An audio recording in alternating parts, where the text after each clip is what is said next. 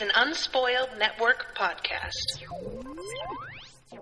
This is Some Spoiled, a Song of Ice and Fire 2, the co-host Switcheroo, the rereading, Return to Westeros, HBO Spoiler Edition, uncut, uncensored, and too hot for TV. In this episode, Rashawn and I talk about chapters 46, 47, and 48. Daenerys, Eddard, and Jon. In the first chapter, somebody who really needs to die finally gets got. In the second chapter, somebody who we would like not to die is about to get got. And in the third chapter, Jon's a whiny bitch. Welcome to Unspoiled. Some spoiled. God damn it.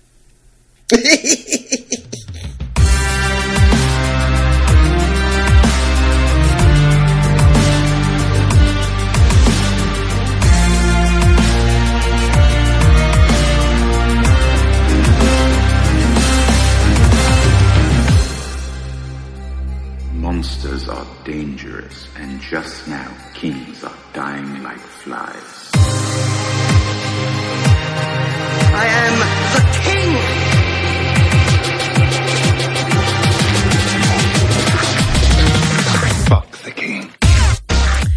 Never get that. Welcome to the show, everyone. I am Natasha. I'm Rashawn. So, um, question for you, Rashawn. Mm-hmm. What do you think about switching to two chapters, starting with our next recording? I think it might be time to step our game up.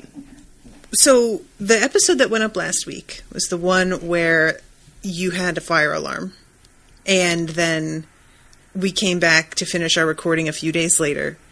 And when I went to edit it, your track, the first half, did not have any sound on it. No sound. despite this, all, despite the fact that we got halfway through before the fire alarm went off, the episode was an hour and 20 minutes or so. Jesus Christ, just half of it? Yep. I was what? like, that was part of why I was kind of like, this sucks to post, but also, like, it's a fair amount of content, even though half the conversation's gone, so I'm not even, like, that mad about it. Can can I be real with you guys for a minute? Mm-hmm. Can everybody take a knee? Do you want me to play taps? I have been feeling like very uh, out of sorts with this project. Um, I was hesitant to take it on, and then you know we we did the goal, and I feel like we just have not gotten into our rhythm. Mm-hmm. And then we've had like these technical difficulties and, and moving and holidays, and you got sick, and it felt like the universe was conspiring I feel you. against this project. And I was starting to feel like maybe this was like a misstep, you know, maybe we should just like call it off before we get any deeper into it. And as far as like the books themselves, I really have been enjoying them, but also, you know, I did see the show, so I felt like it's not like with any of the other What? looking at GarageBand and then tall and tan and young and lovely. The girl from Ipanema goes walking, and when she passes, each one she passes goes. Fuck. Yeah, like I don't. and I was about to say that despite all of these omens, Oh. reading these chapters, they were so good. I felt like, no, we made the right call, and we just gotta like get through this bumpy road, you know. But the devil And said, the fucking thing happened." fuck you. Jesus fucking Christ. I hate that feeling. Guys out there listening, the feeling you get when you find out or that you're afraid that you lost an episode or something, Mm-hmm. it is the worst feeling. It's enough to make you never want to record again. It's like realizing that you left your phone in a bathroom at like some Starbucks and you are now Mm-hmm. home and it's been an hour. Like that kind Mm-hmm. of feeling. it's uh so there's like a low level anxiety that comes along Mm-hmm. with with doing this this this work um and I know people are probably thinking, well, just you know, have backups and make do your tests. But what happens is, you go for such a long period where everything is kind of working the way it's supposed to work Mm-hmm. that you feel like you're safe, and then all of a sudden you'll just get hit with a wave of bad luck. It's and I feel true. like that's what ha- what's, what's been happening to us. And um, but anyway, all of that to say, I just I appreciate people's patience as we are like getting our groove together. Mm-hmm. While uh, GarageBand has decided that it hates these books and doesn't want to let anyone hear us talk about them. I just like the fact that we got interrupted by a fire alarm seemed like that was the worst part of that episode. And then to have lost half of it, in addition to having been interrupted by a fire alarm, it's just really like, can you let up for a second? Like, Yeah. No, right? It, did GarageBand watch season eight? And it's just like, nah, fuck that. We're not. oh god. Because I can't figure out what the fuck is happening. They used GarageBand to mix all the sound for the show, and GarageBand's like, I've been through enough because of this show. I'm not doing this again. Bad relationship. Oh, GarageBand is traumatized. Yep. So anyway, guys, I just wanted to thank you for, like I said, for hanging in there, hopefully with us, and um, just you know, I don't know, light some candles for us, you know, uh, burn some incense, something. Something. We need it. Help so, um, but you were saying about going to two chapters because we have a lot to say. Yeah. Turns out, Yep. And I really thought it would take a little bit longer for us to start like getting into such long conversations about each chapter. and yet here we are Here we are, you know. already. And we're really like we're getting into the thick of things now. I really feel like Viserys dying is the Mm-hmm. Yeah. beginning of that Yeah. snowball rolling down the hill, you know. Mm-hmm. Um and of course Robert Baratheon dying, but Yeah. you know, honestly, who cares? Well, you know what? I found myself giving a fuck. Oh shit, It unexpected. was crazy. Him and uh, Ned having those last few moments, I was so mad at Ned, you guys. Listen, I'm so mad. so But- many moments in these books where you're like, all that one instant you could have turned everything around. It could Oh have just God. gone another way. when Renly comes to him and is like, I screamed, you guys. And it's so frustrating because it, apparently 10 minutes later, he's, you know, talking to Littlefinger. And it's, you know, I'm like, why didn't you just take up Renly when he offered it? Mm-hmm. You're doing the same fucking thing now. With a less trustworthy person, it's fucking Littlefinger. What are you Honestly. doing? This is what's so ironic is like Renly, he's sort of treating like, how could you come and say this to me? And Mm-hmm. acting as if Littlefinger is the one that now, because they've like been through shit together. Yeah, he's the yeah. one, and it's like maybe you've been through shit together because he's been manip- manipulating you since you like set Mm-hmm. foot here. But no, no, And also, where was he when your ass was getting stomped? Listen. and he even like thinks to himself how that rankles a little bit. Mm-hmm. And I'm like, not enough, evidently. Like, Clearly not enough.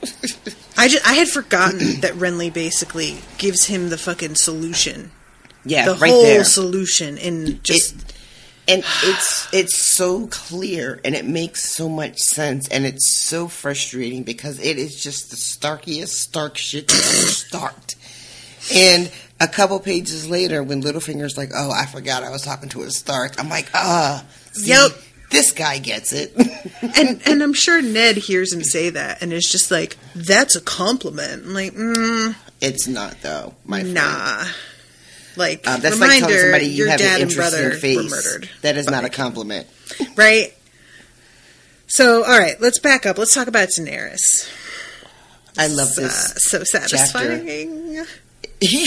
I uh, I was completely enthralled for this whole chapter. I Same. um, I don't know. I, I I like that you said things feel like they're like really like getting moving, mm-hmm. and it feels like this might be too early to say. This might be over over, you know, stating something, but it felt like Martin was started really like cooking. Mm. You know, I don't know. As a just, like- writer, you mean? yeah, yeah. Okay. Like I just like I was reading this Daenerys chapter and uh the the description of where they are, everything is so um like you could almost touch it, you know. It's so vivid. And you re- I just really felt like when he's when she's eating the the the horse heart, it's it's like I felt like my hands were sticky. Mm-hmm. You know, it just I don't know. I don't know if it's just maybe like a little bit of like a residue of what the experience was like watching it. I really don't think that's it though. I really honestly feel like I was reading this and I was reading it as if I didn't know what was coming. Which is a very strange thing because of course I know what's coming, right? Yeah. But as I was reading the chapter, it was it felt new, and that's probably one of the first times I've had that experience so far in the books. Where yeah, it felt I, I like don't fresh. like. I feel I definitely understand your uh, feelings of it being so like visceral Mm-hmm. and textured. Like that was how I felt with the chapter with Catelyn trying to cross that high spot and like getting dizzy and Mm-hmm. It was just like I had forgotten about that at all, like even happening. And while I was reading it, I like felt a little sick because I just knew exactly what he was describing. right? Um, so yeah, I think that uh, it's really easy because the show has been so bad and because Martin has been so disappointing in so many ways in terms of like you know various pieces of his properties being problematic, but also just not producing at, at any sort of reasonable schedule. Right. It's easy to just be like, ah, those books they're overrated. Mm-hmm, But honestly, like, there's a reason that they have the attention they have. Yeah. And it's not because he's a bad writer. Like, yeah, yeah. he knows I what he's doing. I think this is one of the times where that really felt true to me. Like I was like, "Oh, this is why." you know, this is getting to like the heart of what made these books something to be adapted in the first place. You know, mm-hmm. um, so that was just it was really cool to feel that kind of excitement as I was reading. And uh, th- and, and uh, so this chapter with Daenerys is she is uh, at uh, oh my god, Vaes Dothrak, Vaes yeah. Dothrak. That's either one. But yeah, And, I say um, Vaes Dothrak when I say it, I think. Yeah, because it's like what is it like V A E S, Mm-hmm. Right? But uh, so and she's here. It sounds like from that she's here specifically for the like to have the wise women see what's going on with the kid, right? Mm-hmm. Like she's like not like a naming ceremony, almost like a seeing into the future, seeing the destiny of the unborn child, and then she gets to give it a name and all that. It's like a gender reveal, but like on steroids. It kind of is, right? How fucked up is that one line about um, if she doesn't keep the the heart down, like if she if she retches or anything, that it could mean something terrible would happen to the child. Like she could be could be stillborn or have some type of birth defect or be female. Yep. I love that choice of wording. The child might be stillborn or come forth weak, deformed, or female. Very well done. Expert word placement on that. Right? You're just like, okay, that tells you everything you need to know about this culture. Yep. You know, and what they value. Uh, there it is, just all laid out. It's sort of interesting too because Vaes Dothrak is ruled by the women who used to be married to Khals, the old Khaleesi's, and so despite the fact that like obviously it sucks that you just get sent to this place and you don't get to choose what to do for the rest of your life, it feels like it's a matriarchy within this city. Yes. And then later on, he's pointing out like when he's inst- Khal Drogo's insulting Viserys, and he's like, "Go sit over there," and the spot that he's gesturing to is where the young boys, cripples, and old men are. Mm-hmm. And it's supposed to be this like hugely insulting thing, Right. And I'm like, so the old women, I guess they're like these are just regular old men, not old khals, because they wouldn't. Well, khals, I don't they think just get, get to be old. Yeah, yeah, exactly. die. Yeah. So what happens to old women? Like, do they? What what I love about the idea of of how this this society functions is that um, women don't get a say when they're younger, right? Like you, if you're lucky, you're one of the wives of a khal somewhere, Right. And then the minute he's gone, you're exiled to this place. And then for the first time in your life, you have real power. Mm-hmm. It's Right. weird, right? It's very weird. And uh it's like punishment and reward all like wrapped up in a way that is kind of uncomfortable. You know?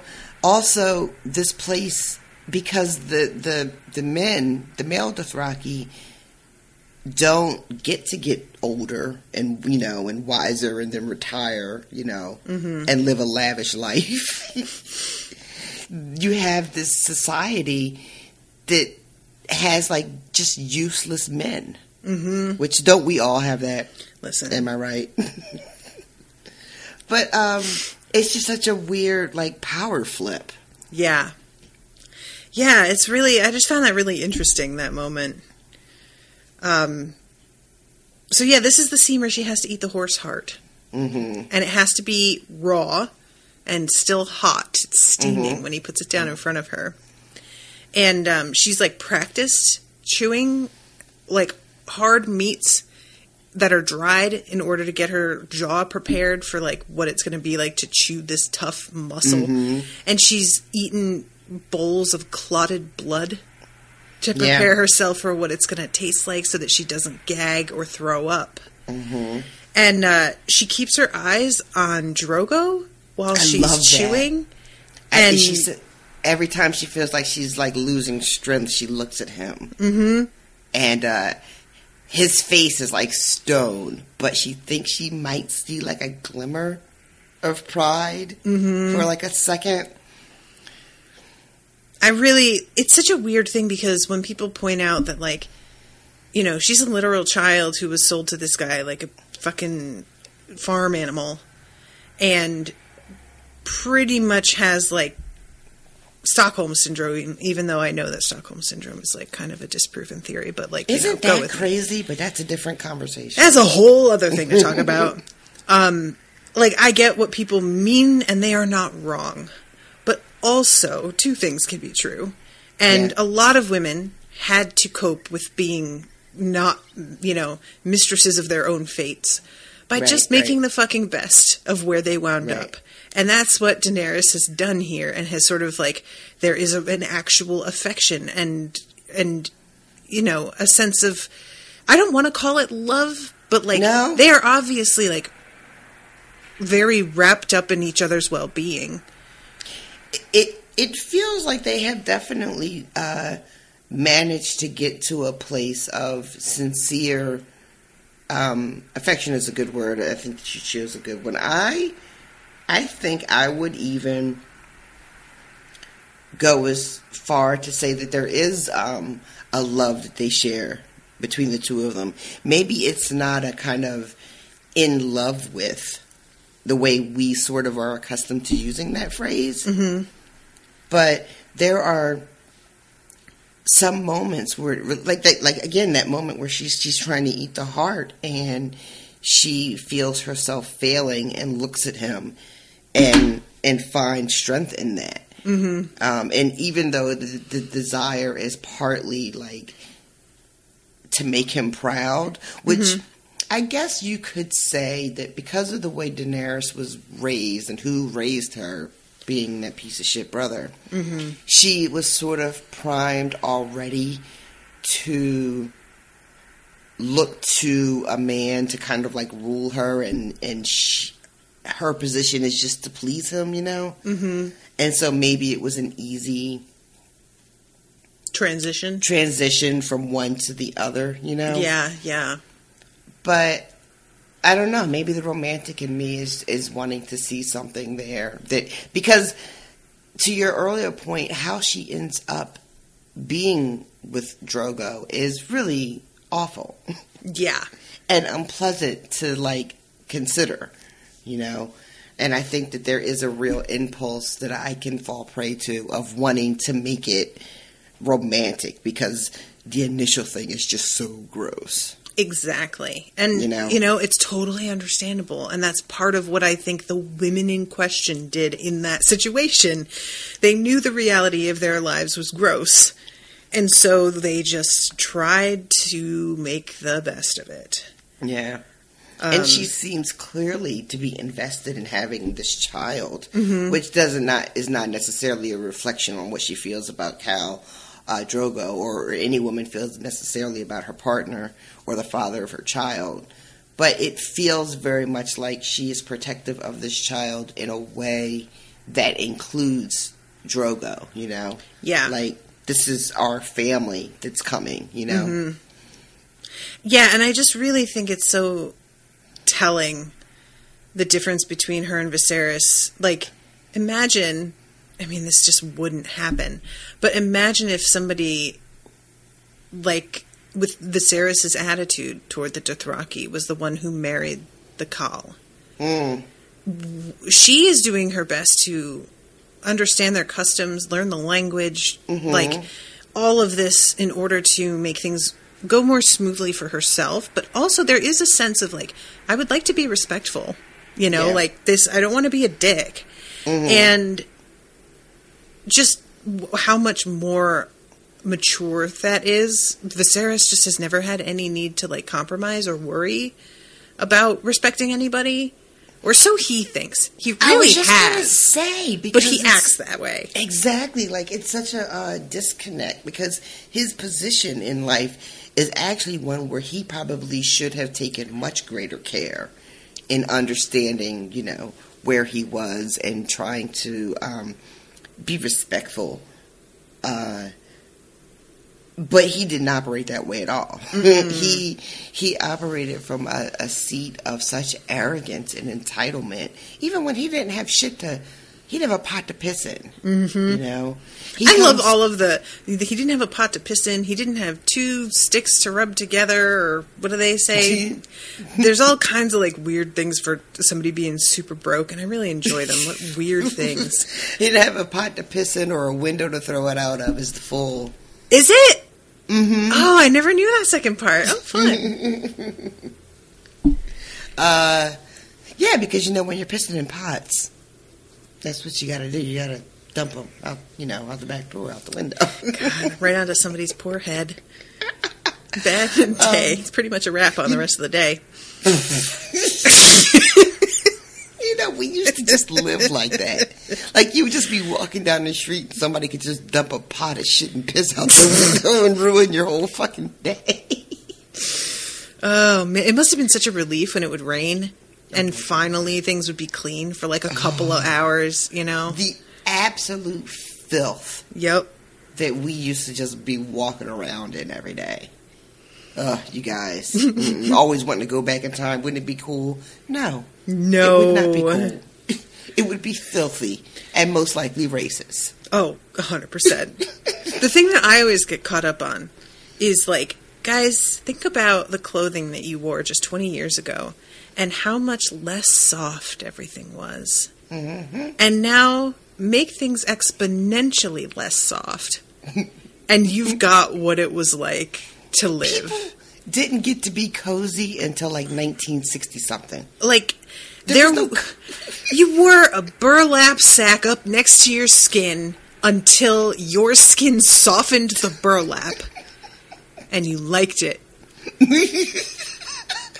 you wore wool underwear and you were thankful to have it I was going to say you were glad to have it. Yep.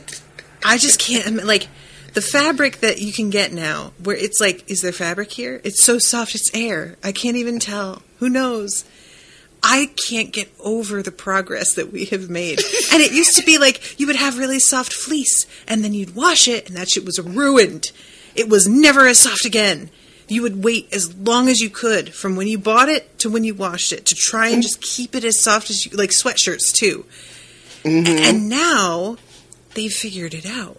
Listen, And you can wash it. buy T-shirts now in like regular or extra soft. Mm-hmm. Why is anybody buying a T-shirt in regular when that extra soft button is right there? Just like, click on that one. Do you want the t-shirt that your boyfriend used to wear that he had washed for like 10 years and was so thin you could practically see his nipples through it? Yes, I do. Thank you. I would That's like that the one for me. but anywho, Anyway, um, so I'm sure racism She- is also terrible. But rough fabrics, everybody. Come on.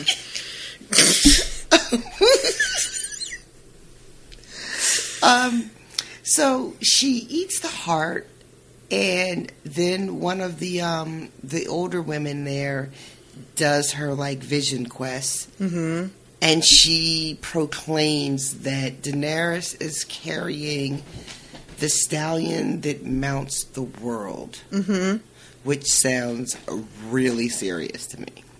It's honestly kind of weird that they're basically like, he's gonna fuck the the whole world. The whole he's gonna make the whole world his bitch, Yeah, which I guess is what you want in a leader. I, I suppose. guess. Ah, And it turns out that this is actually a much bigger deal than it even sounds like because this is a prophecy fulfillment that they're talking about. Yeah. This is not, you know, which which I can't remember if I if I, can't remember if I remember that from the show or not. Um, I think she does is- say this. Yeah, hmm? I think she. This happens in the show. This proclamation. uh, I remember I remember her saying that you know that exact phrase, you know, stallion and mouse the, mouse of the world, but I couldn't remember if it was a prophecy in the show or not, or if she was just saying. Oh, gotcha. But anyway, it's a big deal because this is some shit that they've been waiting for. Hmm Like this, this, this khal is supposed to come into the world, and he's going to unite all the Dothraki into one khalasar, hmm and they are going to go wreck shop everywhere. and um, I found okay, you guys, can you hear that noise? hmm That is my cat running in and out of this room like a crazy Oh person for no reason. Like just in and out.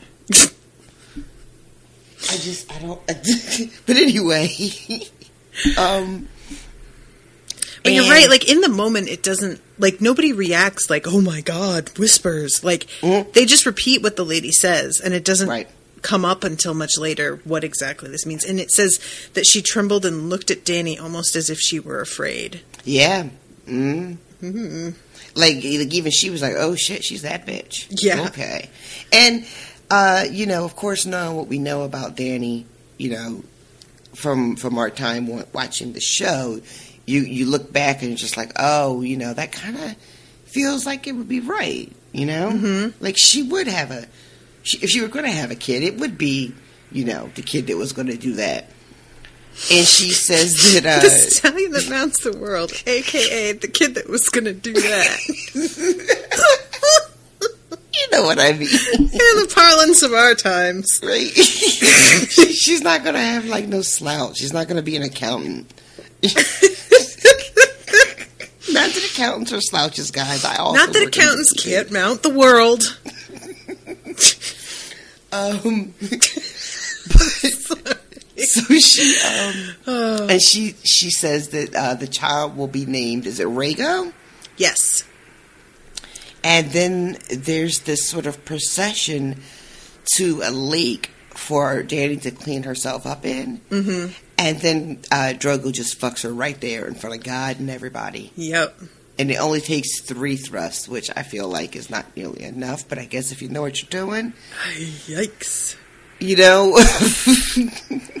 This is such a. Have you watched Bridgerton yet? I watched like the first couple episodes. It was not really for me. I can see that it might not be for you. It's. I really enjoyed it. It certainly got its issues. Um, but I appreciate a lot that they depict sex from beginning to end as like a handful of minutes over and over again. they really like seem to sort of emphasize that you know these these long romance novel sort of sessions are unlikely to be what women actually experienced. and uh, this moment for me, I was like, that's that's even a little short for me. I liked the handful of minutes, but like three strokes, and he's like, dude, really? Okay, I guess. I mean, well, in their defense, they did have a feast to get to. Can you do that? Can you be like, I got shit to do. I'm just gonna come right now? Because I can't. And if anything, knowing I have shit to do makes it take longer. Oh, I get no. anxious about it, and I'm just like, oh my god, I really hope that I get done. Well, Shit. I mean, it does. There's no mention that Dany came at all. So Mm, true. you know, I'm just like, guys, like how how many of you, if it wasn't an issue, like if it you weren't going to be either embarrassed or your partner wasn't going to be like, what already? How many of you could come in three strokes? Like maybe this is just something that guys can do and they hold themselves back from all the time. Instead of it being the exception, it's how they are really set up to kind of function. And we've just normalized it taking longer than that.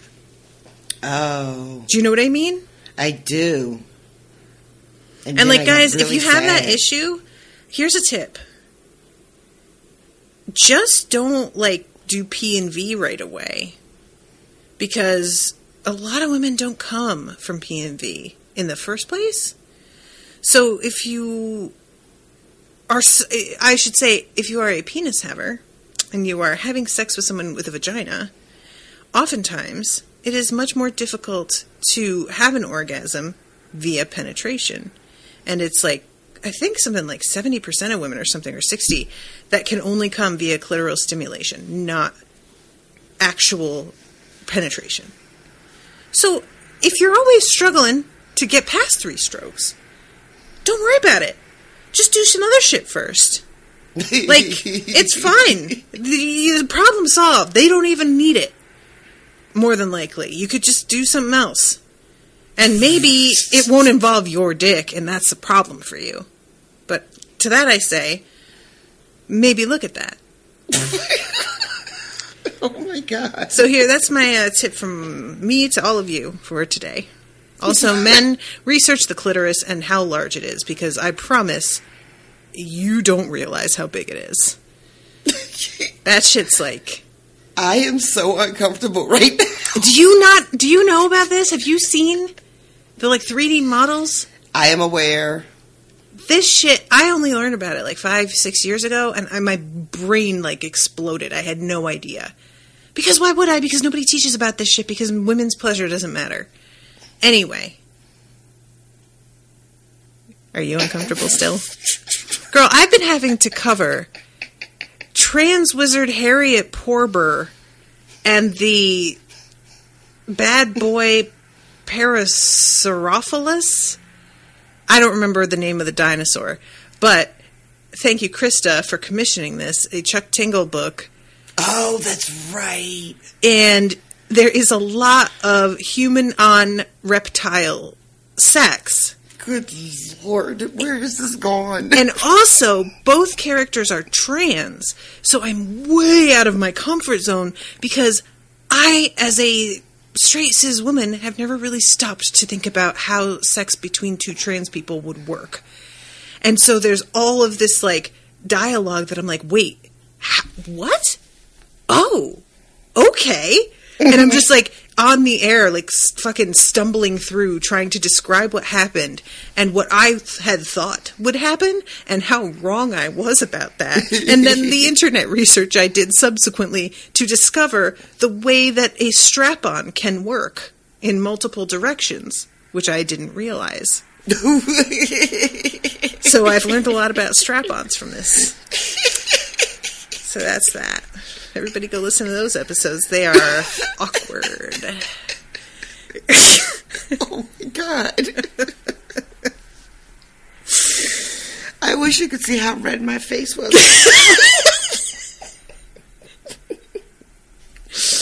Anyway, okay, so uh, yeah, he fucks her. It takes very little time, and um, they go to the feast, and she's like, "Where's my brother?" And they're like, "He went to get wine, something." I don't know. Who fucking cares? Mm-hmm. He's pretty much the response she gets. trying to trying to rouse up an army with his broke ass.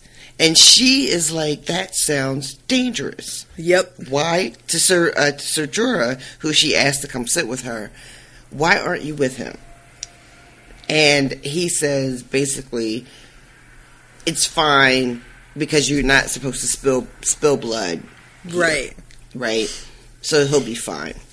Even though we find out very shortly after that, like, they definitely strangle people. They have all kinds of loopholes. Yeah, they definitely. It's And- not like he's not in danger. At, he's And- he says something like, "As long as he doesn't steal anything." And I'm like, you think other Yeah. people haven't figured out strangulation? You know, like, and the thing is, it's such a gross misunderstanding of another culture, right? Mm. Like you hear Jorah hears, "Oh, you can't spill blood here," and thinks that that means you can't can murder people here. Mm-hmm. Instead of what it really means is that kill somebody, but don't spill any blood. You know, yeah, uh, classic colonizer misunderstanding. if you ask me. Well, it's weird though because like it is, but also it's like he sort of seems to understand it when he says that they strangle so that they don't spill blood. Mm-hmm. So like he understands that they have loopholes, but he doesn't seem to take it seriously that they have I- loopholes. And I'm wondering if what's happening in this moment isn't even that he's not taking a loophole seriously, but that he has just decided fuck Viserys. I really think that's what it comes down to. Because this is when he tells Dany that, oh yeah, he was trying to steal your jack- dragon eggs, BTW, and I had to tell him I'd break his fucking hand. Um, she is so taken aback by this news, and she legit says, "Why would he steal them? He could just ask me, and I would give them to him." He, and she says he's still my king, or my one true king, I think is what she calls him. And Jorah is like, mm-mm. he he? was. It's really it's such a an indicator too of how little she understands her brother because like she's like why doesn't he come and ask me for them mm-hmm, because he mm-hmm. doesn't ask for things Daenerys Yeah. he doesn't want to have to come to you for permission to for something that he believes should be his property in the first his. place Exactly. He he he she seems to not understand that he which is his actual words when he comes stumbling in later, you know, is that Mm-hmm. she belongs to him. Um and that he will take her back if Yeah. uh Drogo doesn't, you know, hold up his end of the deal. yeah This this ownership that he has of her in in his mind of not just her but anything that is hers. He threatens to like kill the child that she's carrying, which was really the the last straw, and you hate to see it.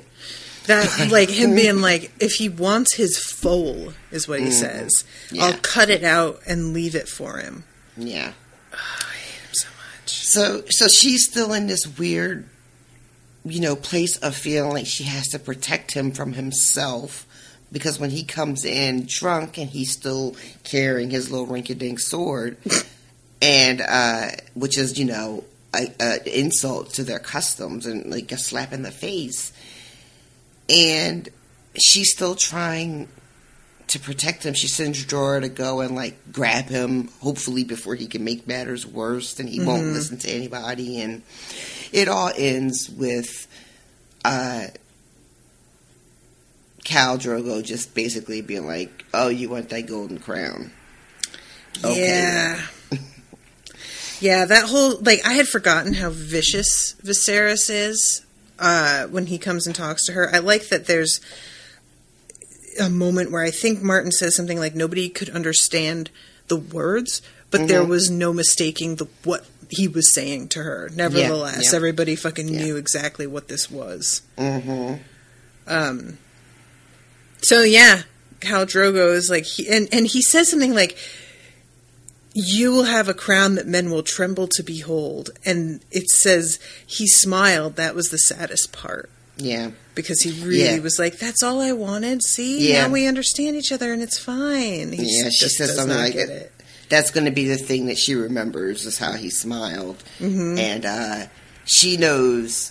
I mean, 'cause she's not an idiot. She knows what's coming. She knows this is it. That he's gone too far. Yeah, And you get that last line where she just says very calmly and like a curious kind of like, huh.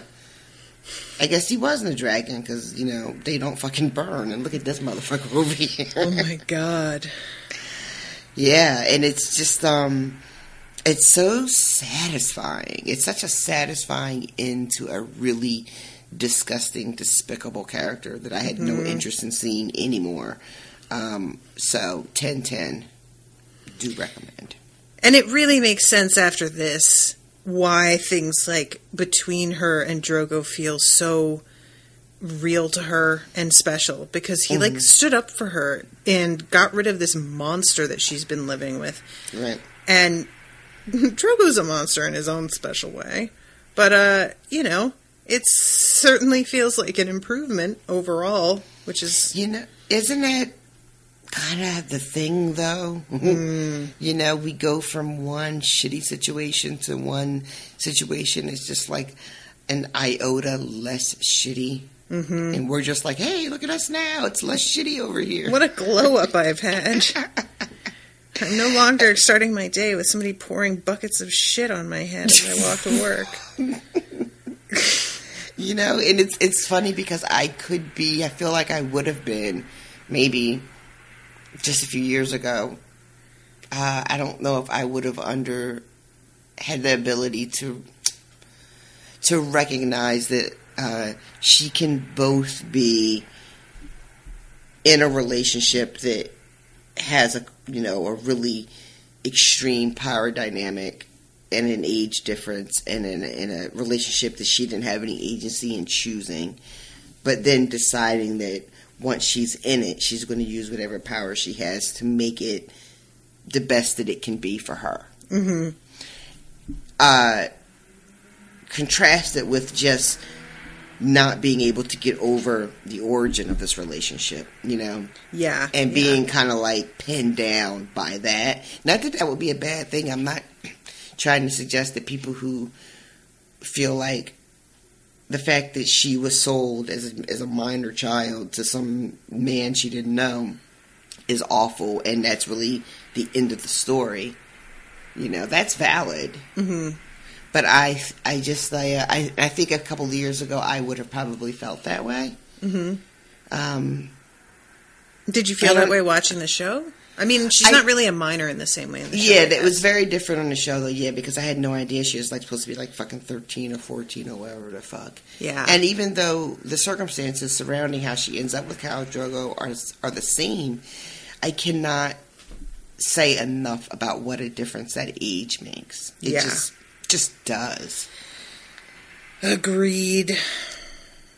Um, yeah, it's just the kind of like, you know, it's the sort of thing where you can write stories that like don't have problematic elements in them, but like, is that actually true to life or how things work? No. And do you have to make characters learn how to deal with shit that's like fucked up happening to them? Right. and can you like sort of appreciate that somebody did the best they could with what was offered to mm-hmm. them like mm-hmm. there's just a lot of things can be true at once and i feel like people tend to throw this like wokeness around sometimes mm-hmm. i- in an effort to just dismiss things because they want to prove a point rather Yeah. than like seeing the storytelling that's happening here. Like that's the point you know? I I would also question, and this is not an accusation to anyone, but it's a question because in this particular world that Martin is creating, maybe people aren't literally selling their daughters and sisters but they're low key selling. Mm, pretty much, yeah. You know, with all these arranged marriages between houses where where various young women across the realm aren't given any more ch- choice than she than Dany was given. Mm-hmm. You know, so and we don't, you know, I don't, I did, don't imagine there was a lot of clucking about those couplings. You know, Yeah. so, and I wonder if it becomes different because if we become more concerned because Khal Drogo is another, an other, you know, he's like a barbarian. He's, you know, you know what I mean. You know where I'm heading. I know it. I, I think that what I have seen is a pushback in response to the romanticization. Romanticization? I feel like I've been through this before where I can't figure out how to say it. Of their relationship because there was a lot of like my moon and stars merch coming out. And a lot of weddings that were sort of themed around that imagery or those uh, words. Mm-hmm. And I think people felt like, why are we acting like this relationship was so beautiful? When really it was like the product of abuse. And so, in that sense, like, I can understand that. It's sort of like me being weirded out when people get the dark mark as a tattoo. I'm like, I understand that this is like a fandom thing, but also, like, you know what that meant, right? Like, what are you doing? Um, but I say like I say that because a lot of the conversations I saw started with that, and that's not necessarily the only reason that people were upset. It just felt like that was where I saw a lot of the like protests against the way this relationship was celebrated come mm. up was like because you know doing what I do, I get a lot of fandom ads and the comment sections in ads for fandom gear are really a mess. Yeah. So I saw a lot of arguments about a variety of things that I won't get into. Um, so, but I, I definitely do think that the fact that Khal Drogo is an other is an additional factor. Mm. It's sort of weird too, like so George R. R. Martin has been accused of racism due to his portrayal of any like non-white people in these books. And I think that there is something to that for sure. That said, I find it interesting that this community, the Dothraki specifically, are seen as sort of an insult when stepping back and like looking at the way they operate isn't really that much worse than anybody in Westeros and the way they operate other than individuals like Ned Stark there it, there is still like a brutality Mm-hmm. there is still a you know huge gap in treatment between genders Mm-hmm. it's it's been sort of like given a veneer in Westeros, but it's no less so with the Dothraki. It's just very different looking. Right.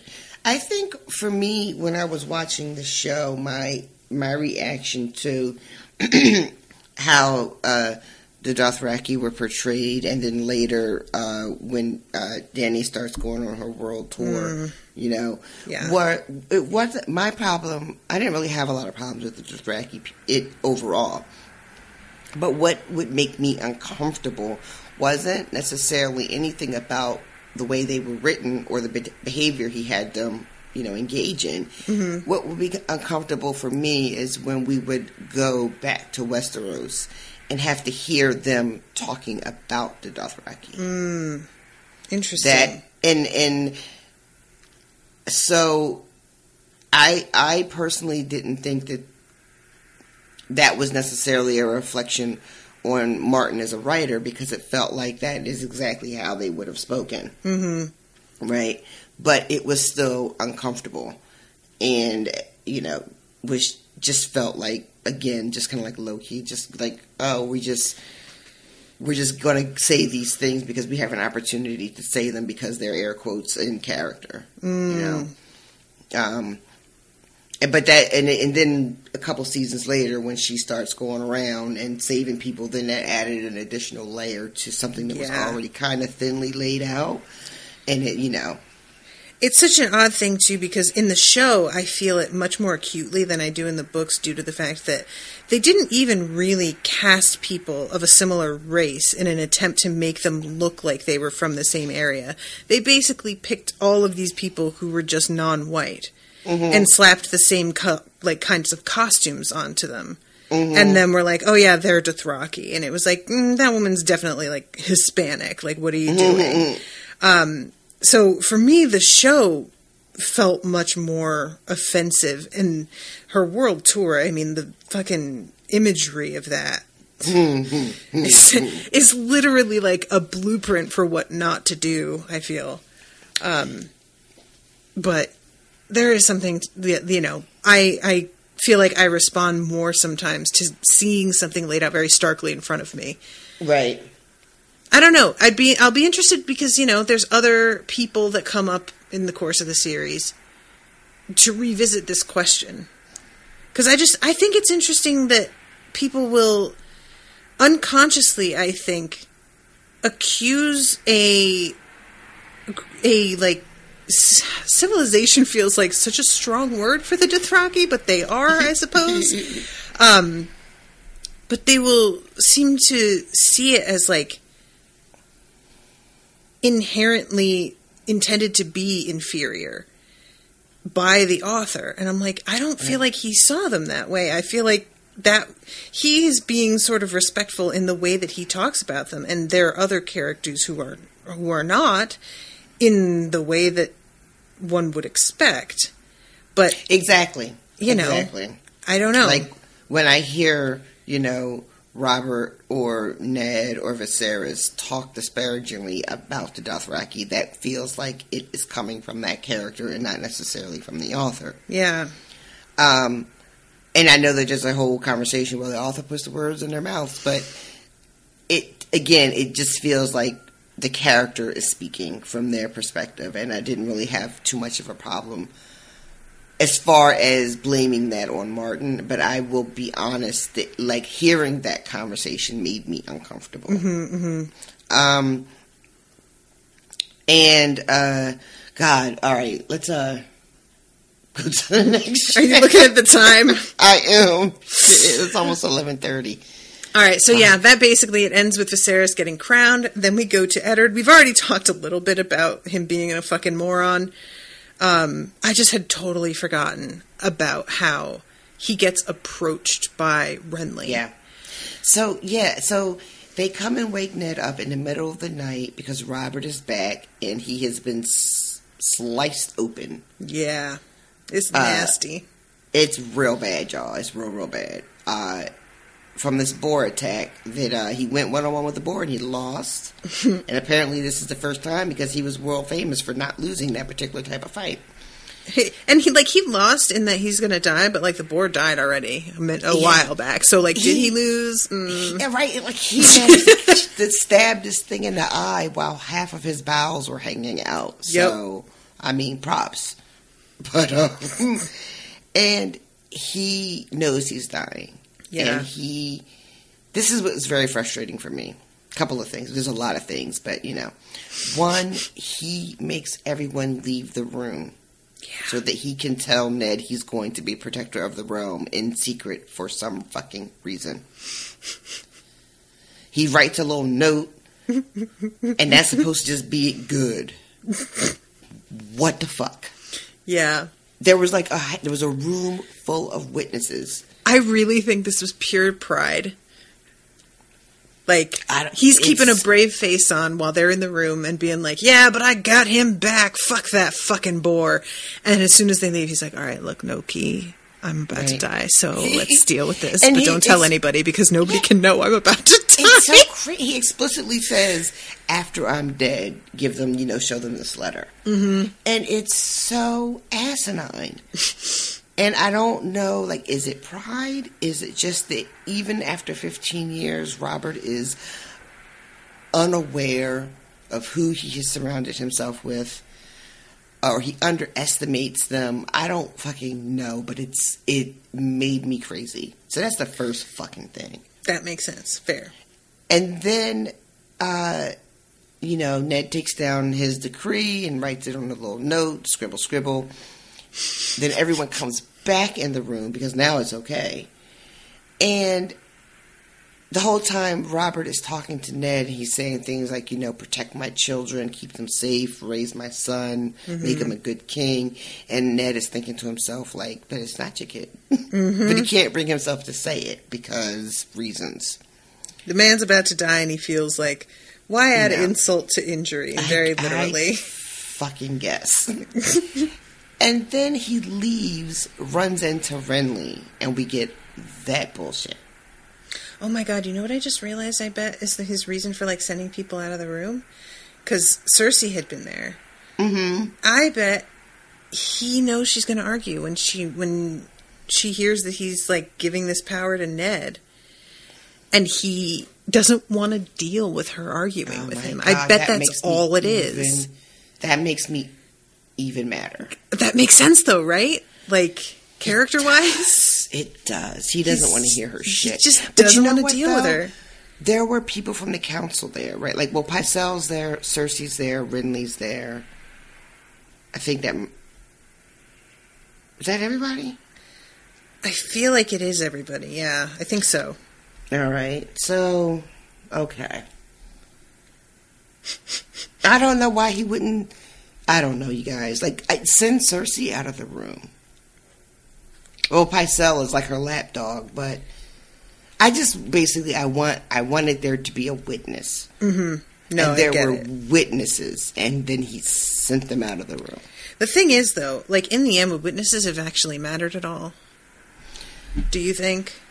I think it would have been harder to. I think it may have been a little. You can't bang on the desk, um, girl. Oh, I'm sorry. You know what I start to think, I start to tap. I think maybe it would have not been impossible, but it would have made it harder to get Ned if there had been witnesses. I, don't know I think that would have given him a little bit more leverage. I feel like in theory it would, but not in reality, considering the way that Cersei chooses to handle it. Do you know what I mean? Doesn't she Like- end up? I can't, I'm trying to remember what they get Ned for. I can't. hundred. They accuse him of basically killing the king, right? I don't know. You're not going to remind me. No. Ah shit. And frankly, I'm insulted you asked. well, all right. We'll put a pin in that. I was still, I'm still disgusted. They sent everybody out of the room though. I'm going to die on that hill. That's fair. Um, and then he runs into Renly in the hallway, and Renly understands exactly what they're up against. Yep. what is going on, what is going to happen as soon as Robert dies. And he says, We need to get our shit together. Mm-hmm. I have X amount of men.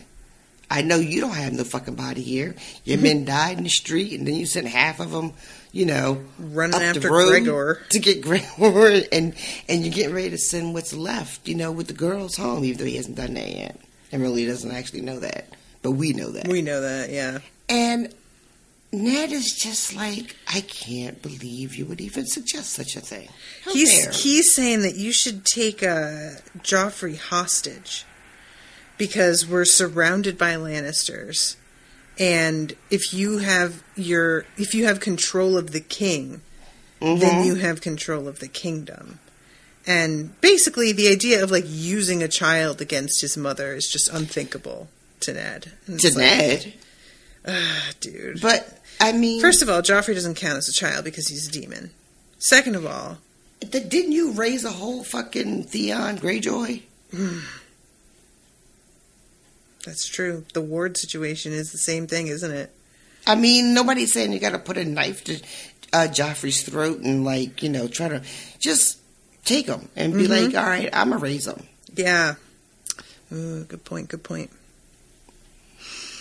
So, and th- what kills me too is knowing that like Renly is so well versed in what's happening here and has this good of a plan Mm-hmm. and then wants to be king. And honestly, it feels like he probably would have been pretty good at it. I You know? can't figure out why Ned reacts this way. Other than like we make a joke about how he's just a fucking Stark, but we see so so soon after this encounter with Renly, we see him with Littlefinger, and I and I. It, I understand what you said earlier. You made a really good point that like he feels like him and Littlefinger kind of have I don't know fucking something. You know, maybe because he helped with Catelyn at one time. I mean, yeah. But like he is so what's the word? Not not just dismissive of Renly and not just like in, in like outrage. But is there like a history between the two of them? Is it because he's Robert's younger brother? Is it Honestly, I think so. I'm gonna read the thing that um, that Renly says to him. Um, Strike while the castle sleeps. We must get Joffrey away from his mother and take him in hand. Protector or no, the man who holds the king holds the kingdom. We should seize Myrcella and Tommen as well. Once we have her children, Cersei will not dare oppose us. The council will confirm you as Lord Protector and make Joffrey your ward. I think what first of all, Ned knows that they aren't really Robert's kids, so I think that that's a factor for him, even though it's not apparent in the conversation that he's like, I'm not going to be putting these kids on the throne in the first place. So hmm. there's no point in gathering them up when I'm just about to like expose the fact that they aren't even his kids. But also the fact that he's suggesting to like strike while everybody is asleep in the dead of night, the dishonor in that, which is like just the skulking around and trying and accomplishing stuff, especially an attack on children. so? This is just so distasteful. all of it. Exactly. Yes.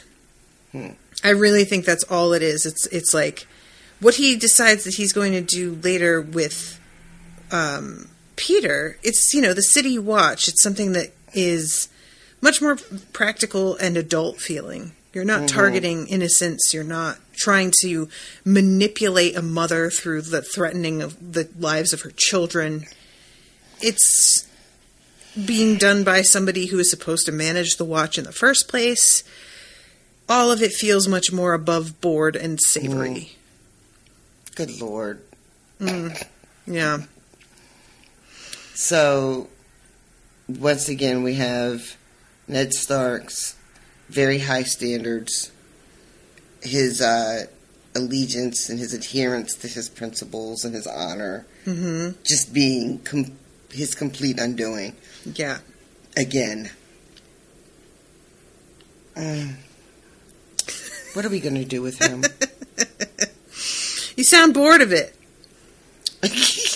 You sound like you're uh, kind of like, eh, you know what? Kill him. I'm sick of this. I mean, I, that's that's way harsher than I was thinking.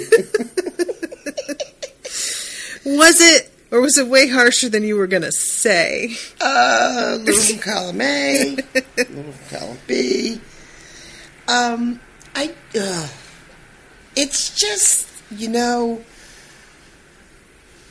these Starks are just running around with these, these highfalutin airs. But meanwhile, they're snatching people off the road. That's You know, true. They're taking With no evidence. With no evidence. You're not wrong. I just, you know, they're. I mean, even if dealing with Littlefinger, you know, because the the conversation he has with Littlefinger, because he has a plan too. Mm-hmm. Littlefinger says, just fucking go with everything. Uh, let Joffrey be, you know, marry Sansa, marry your boy to Myrcella, and I forget, marry somebody else to Tommen. I don't even know, I guess Arya. Uh, it has to be her, right? That's the only one that's left. Yeah, I think he says marry Arya to Tom and and Myrcella to your heir. Mm-hmm. And and just uh, you know, just just be easy. It doesn't have to be hard. You know, we can all just move forward. And uh, Fucking Ned is like, hey, those aren't Robert's kids. Dude, are you telling him? Really?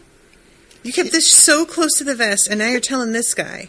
because he's super trustworthy, and Baelish is like shocking. Shocking. Meanwhile, he's got like a bunch of pics on his phone. that- Oh, Varys was comes skulking about. Oh, right. Does anybody know who gave Lord Robert this wine? Yeah, yeah, Yeah. yeah. And um, I mean, is like the least subtle person you ever want to meet for someone who's supposed to be his whole like gimmick. You know, Well, it's interesting because one could say that, or one could say that he's trying to implant doubts in everybody's minds and doesn't even necessarily believe it. Or, you know, like, who knows? He's just he's just asking questions. I, just- I don't know what everybody's getting so upset about. I'm just asking a question. okay. I just wondered who gave him the wine, just for you know, just I for my own information. and and why do you have so much extra wine? Because that was Mm. also a question. Doesn't seem like he even drank that much. I mean, I just uh, I thought that he could handle his liquor a little bit better than that. I'm just asking questions. Uh, and he names them. mm-hmm. Like you, you know the one.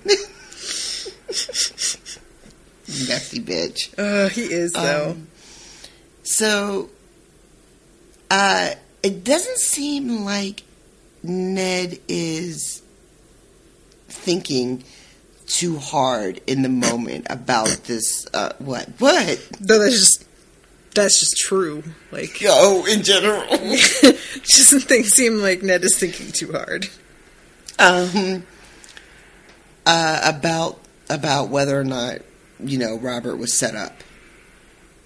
But he's having a rough night, so I guess maybe that he starts thinking about that a little bit later. He's got a lot of pain in his leg, That's true. He is. and he's like barely around. able to fucking like keep the conversation going. That's true. That is true.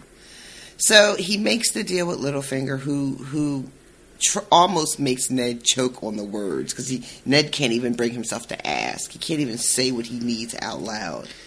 Littlefinger's like just staring at him for a second, like I should just I make should you make you say say it. Ooh, I should just make you say it. I'm getting hard. Oh, he really is though. That's exactly what. and then he uh, he agrees to you know do the deal with getting the King's Guard together, uh, so that just in case you know the Lannisters are about to make a move, you know they'll be ready. Mm-hmm. And uh, I think that's how that chapter ends with Ned and uh, Littlefinger. Correct. And then we get the Jon chapter, and if I am not mistaken, we, this is the very first time we hear Jon Snow say, "But I didn't ask for this." Oh my god. I didn't really think about the significance of that. Uh, And and thus begins a long, long road. Jon Of Snow, Jon the whiny bitch. him being offered all kinds of shit, and him being, "Oh, but I didn't even ask for it. I don't want to be king. I don't want to be commander. I, I don't wasn't even be supposed to be here today. Um, this is a really quick chapter, and uh, I love Sam. Yeah. I love him so much. Uh, he is getting the news that he is going to be uh, able to take the the black. He's done with training, and he's going to get to be a steward to uh, Maester Aemon. And he's excited, and he thinks it's just like happened. He doesn't know that Jon He's such a like, precious cinnamon roll. uh, it's the best. It's so good. He just can't believe his good fortune. oh, it's and, almost um, like magic. it's so sweet because he ends up taking his oath um, in the in the Godswood with Jon, even though he's not necessarily of that faith tradition I of love the that old so gods. much. They're like, I "How really could you turn your back on the gods of your father?" And he's like, "Like my dad turned his back on me." You Yeah, mean like he's that? look, he's like, they haven't been answering my prayers. Maybe I'll have better luck with these guys over here. Maybe if they weren't such trifling bitches, I would be a little bit more eager to have a chat. and um, they announced the, uh, I guess, like where everyone's going to go with their with their role, what their station's going to be, and. Jon finds out he's going to be a steward instead of a ranger, and he is salty AF. Yeah. He is beside himself. He almost causes a scene. Yeah, he. It's like seeing the fact that uh, Alliser is so satisfied that stops him, Mm-hmm. which I have like never related to Jon more than Mm-hmm. the moment of like realizing that you're about to make somebody feel very Yeah. smug, and you just can't let them have that. You can't That's abide the only thing that keeps you from making a fool of your damn self. Um, but yeah, this and, and it's really funny to me because like he's told that the Lord Commander asked for him specifically, and it just doesn't register for him the significance of that. Which, like, if I were in his position, that is all I would hear.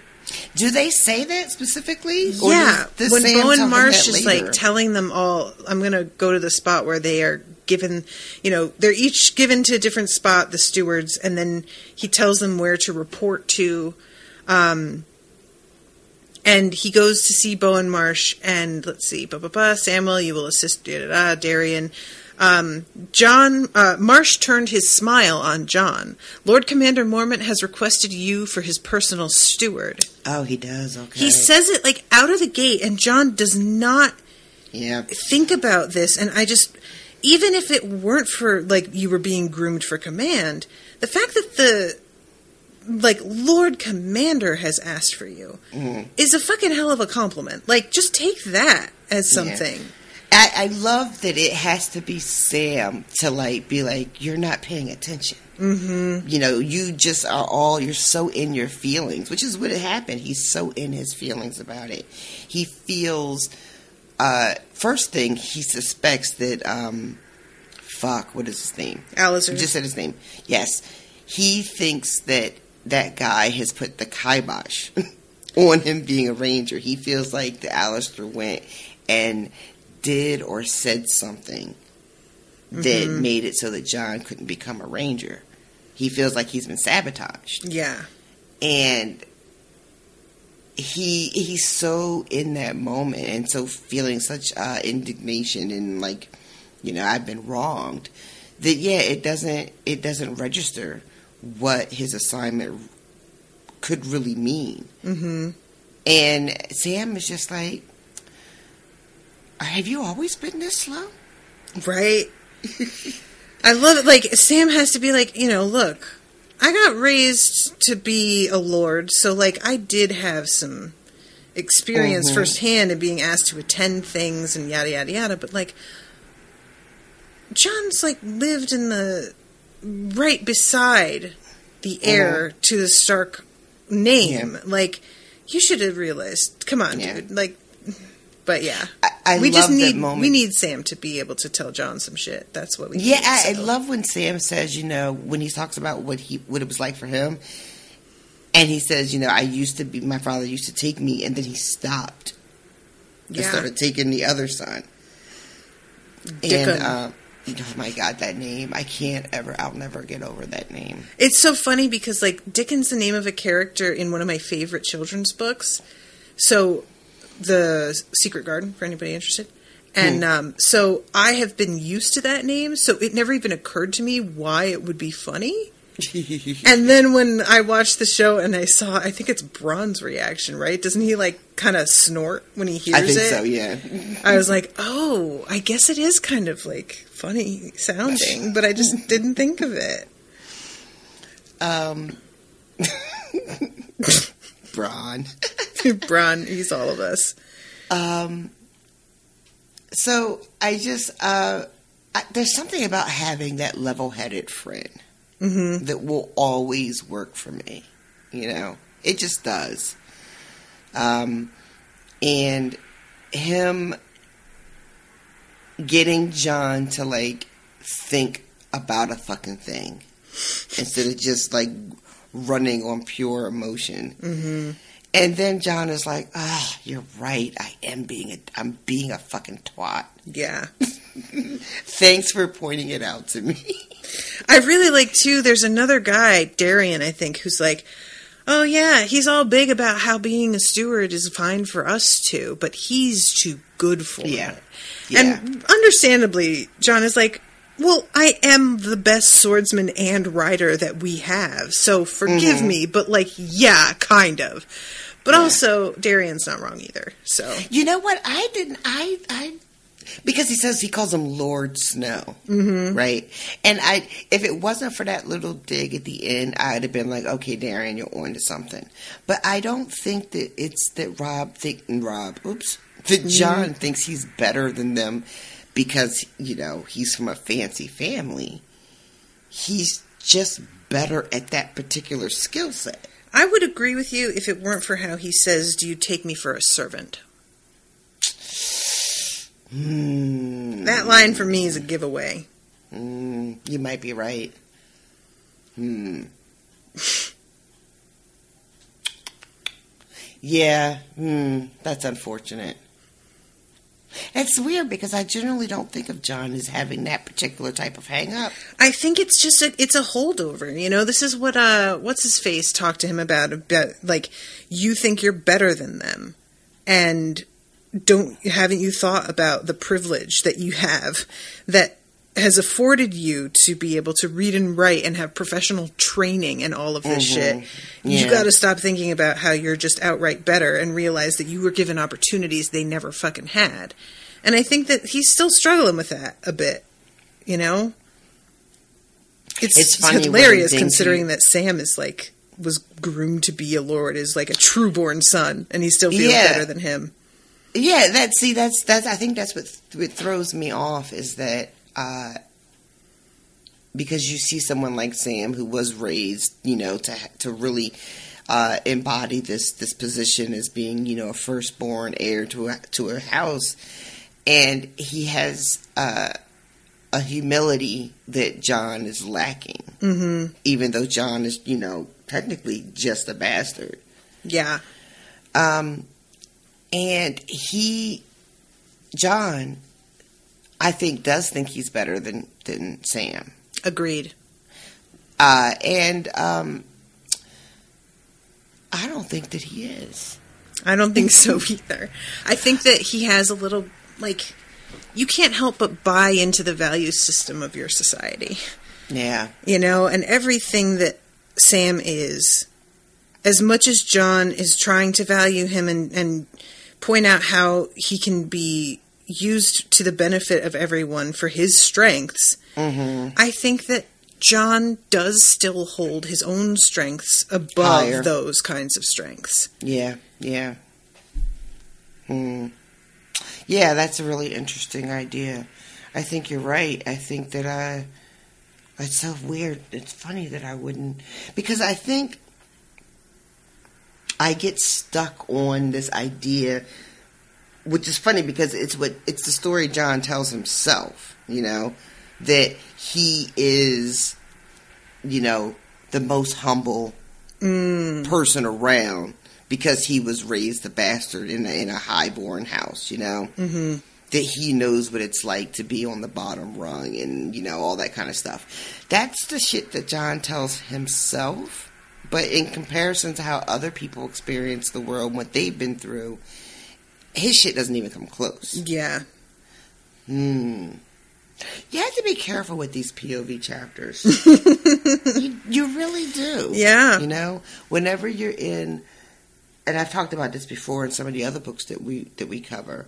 You know, you spend too much time in the head of the character, you start to see things the way they do, hmm and you can lose like the bigger picture.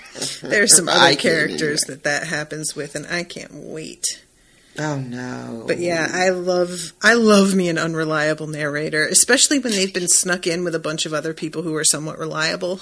Because you really do get sort of used to being able to trust the way people think, and then all of a sudden the author will throw you for a loop and you're like, wait, that's not how that happened. They didn't even say that. What is this? I uh, have you read um the haunt. Oh my god, the haunting of Hill House is the name of the book, right? I know it's also the TV show, but I'm trying to remember if they changed the name of it for the TV show. But I I think have it is the haunting of Hill House. Um, I did see it, but I haven't read it. It is a really unreliable narrator story that ramps up as this. It's really good. You should read it. I read it for the podcast, um, and it's fairly short. You can get through it pretty quick, and uh, it's just like somebody sort of growing more and more unreliable. But it takes you a little while to realize that's what's happening, and so occasionally they'll they'll tell you or remind you of something that happened, and you're like, oh, oh, I had that wrong. I thought so and so said that. Okay. And then, like, two chapters later, you realize she just changed it again. And then you go back and you're like, I was right. So and so is the one who said that. Why is she saying this now? No. And slowly you get to, like, a point where this bitch straight on does not like know what's going on. Like and it's really something to like be in the grip of it and not realize because you feel like she feels you know where it's like just just below your radar and you don't it's just almost imperceptible. There's just a couple things that you're kind of like huh that's that's funny. I feel like i must have got that wrong you know? Um, but yeah, I think Jon is, you know, look, no offense, Jon. You feel sorry for yourself. You felt Yeah. sorry for yourself a long time. And there's no reason to not feel sorry for yourself in a lot of ways. Like, we saw how Catelyn treated you. it's true. That's fair. But also, you do have a lot of privileges. And some of those are just the privilege of being good at things that are valued. Yeah. You know, people like I was talking about this with uh, Miles on another show. I can't remember. I think it was for Twilight, but like the idea of talent being a privilege sometimes. Mm-hmm. It's like you don't even have to try. You just happen to be better at something than a lot of Yeah, other people are. yeah. And that's not to say that you don't deserve to make money off of it or be admired for it, mm-hmm. but it is sort of odd. And I've always felt this way personally when I got a lot of attention for things that I didn't really feel I even worked that hard on. It did turn out better than everyone else's, but that felt like an accident. It didn't really even feel like I did anything to accomplish that in a way. And the thing partic- about that in particular is that it it's not just a matter of being good at something, but being good at something that has a specific value. exactly. You know, there are people that are very, very good at shit that no one gives a fuck about. Mhm, exactly. You know, you can't make a living from it. Uh, no one wants to pay to see you do it. you know, and then other people are just talented at shit that is worth something, you know, and it's. I mean, I'm, and again, I'm not suggesting that people don't work to get better at the thing that they do, Mhm. but you know, I but might- it can feel like you've lucked into, or a person has lucked into something. Mm-hmm. And, you know, that's just something that fundamentally, as human beings, we don't want to admit is how much of a role luck plays in our lives. We really want to think that everything is earned. And Mm-hmm. that, you know, if we grow successful, it's because we earned that success. And if we didn't, it's because we didn't work hard enough and it's our own fault. That's why people get so uptight around privilege in those conversations. Mm-hmm. You know, it can be very difficult for people to wrap their head around the fact that uh, some things that you have, maybe you didn't actually earn. Yeah. Yep. You know, or maybe there are people who work just as hard as you do or did and don't have as much as you do or did. Mm-hmm. And why is that? Maybe there's somebody out there who'd be way better if they had just had that one class that they could take in high school that you had, but they couldn't offer at their school. hmm Yep. So, uh, yeah, I like. I really like Jon, and feel like he's a, a good egg, especially in comparison to some of the creeps in this universe. But he certainly has his blind spots and has a lot of growing to do. and I do enjoy him just stopping and being like, "Ah, fuck." So they go out and take their vows finally. Um, and Ghost comes up, and he's got some in his mouth. Oh, I don't care for this. It is a. It's a hand. It's y'all. a hand. It's, It's a, a hand. God help us. This is like the first night on the job. We Yep. just took the oath. Shit is like a minute old, and already with the bullshit. Ugh. So yeah, I like the oath too. yeah. Do you want to read it? I don't want to read it. You can read it. I'll read it. Um, hear my words and bear witness to my vow. Night gathers, and now my watch begins. It shall not end until my death. I shall take no wife, hold no lands, father no children. I shall wear no crowns and win no glory. I shall live and die at my post. I am the sword in the darkness. I am the watcher on the walls. I am the fire that burns against the cold, the light that brings the dawn, the horn that wakes the sleepers, the shield that guards the realms of men. I pledge my life and honor to the night's watch for this night and all the nights to come.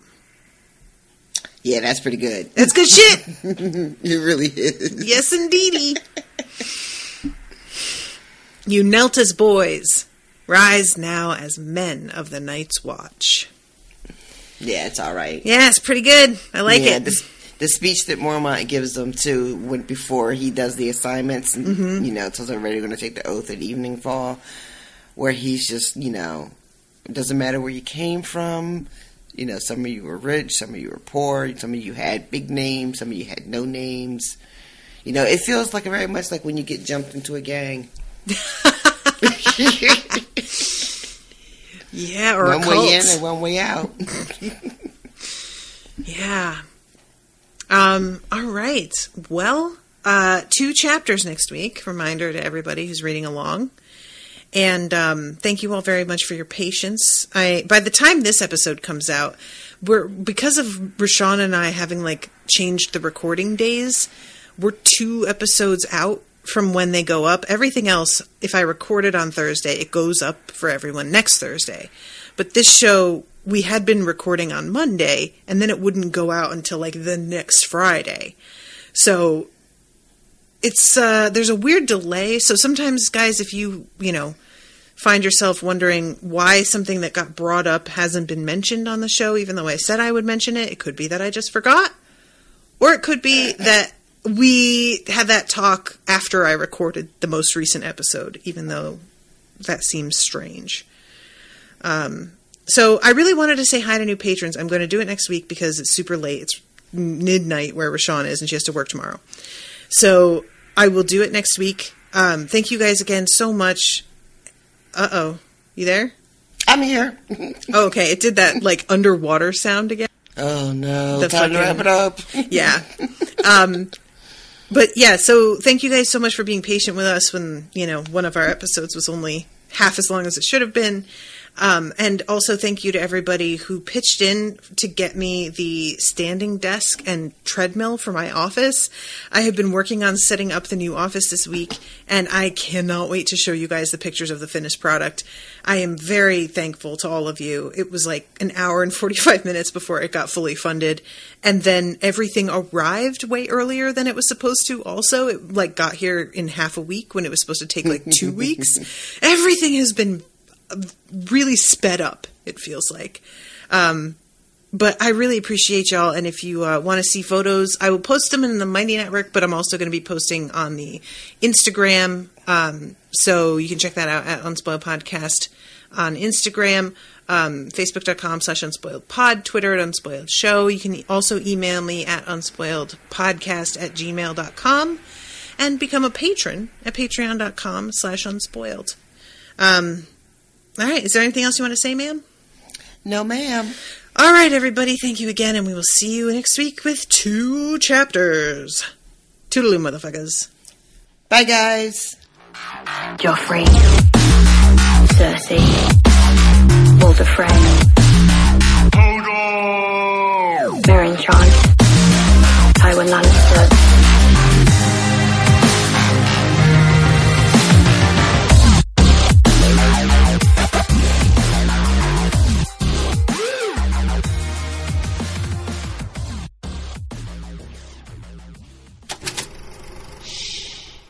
was an Unspoiled Network podcast.